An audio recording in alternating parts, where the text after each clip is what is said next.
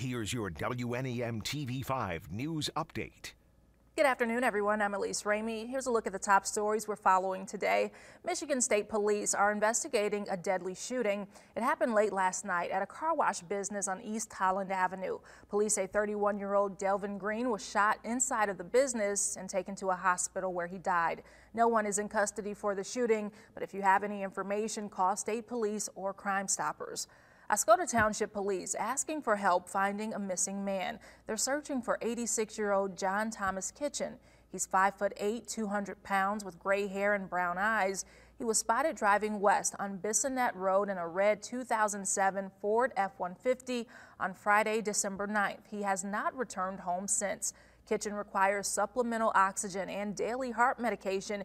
If you have information on his whereabouts, please call Oscoda Township Police. More local news now. One mid-Michigan county is seeing a major bump in car deer crashes this year. The Tuscola County Sheriff's Office says so far this year, deputies have responded to 691 car deer crashes. That's up from 577 for all of last year. The Sheriff's Office says typically November and December are the highest months for car deer crashes, so remain cautious out on the roads. Now here's Matthew with a check of the forecast.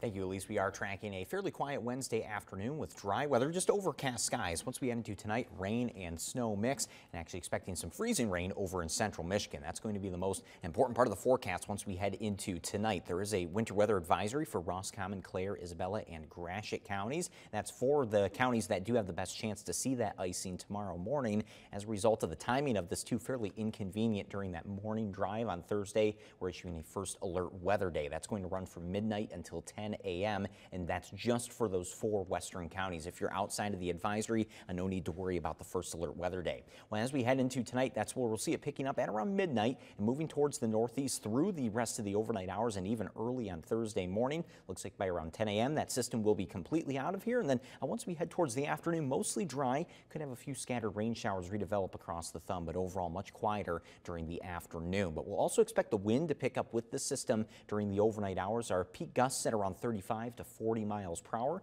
out of the east southeast, and our wind actually making a significant slowdown during the afternoon as well. 70 forecast is 41 on Thursday, so actually during the afternoon on Thursday, we'll get back up above freezing, so not expecting any of the impacts from the morning to last all day. But then the bigger trend in the seven day forecast is just colder weather. That'll be here to stay. Highs in the upper 20s and lower 30s through the weekend and to start off next week.